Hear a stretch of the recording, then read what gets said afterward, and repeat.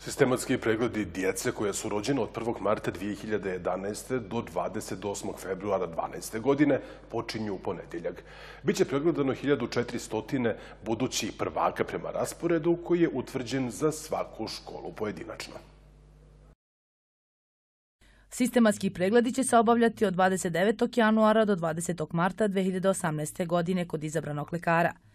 Načelnica dispanzera za decu i omladinu doktorka Vesna Despotović je apelovala na roditelje da decu dovode po utvrđenom rasporedu, koji je napravljen kako se ne bi stvarale gužve, ali da olakša kako medicinskim radnicima, tako i roditeljima. I pošto je sistematski pregled za upis u prvi razred jedan kompleksan pregled, znači obuhvata više pregleda, znači uzima se uput za laboratoriju gdje se radi krvna slika i mokraća, e, obavezno se radi EKG, na svu mi i ovaj dispanzer i gornji dispanzer imamo 12-kanalni EKG aparat, što je jako važno.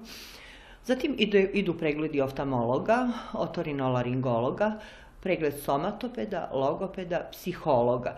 I kad sve to završe, sa svim tim rezultatima onda dolaze kod izabranog pedijatra izabrani pedijatar obavlja sistematski pregled u okviru u koga ide pregled po sistemima, merenje pritiska, pulsevi se uh, ispituju i na kraju se daje potvrda detetu za polazak u osnovnu školu.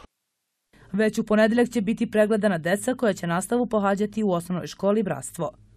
Roditelji za upis deteta u prvi razred treba da posjeduju – izvod iz matične knjige rođeni, uverenje o pohađanju preškolskog programa, dokaz o lekarskom pregledu deteta, dokaz o prebivalištu roditelja.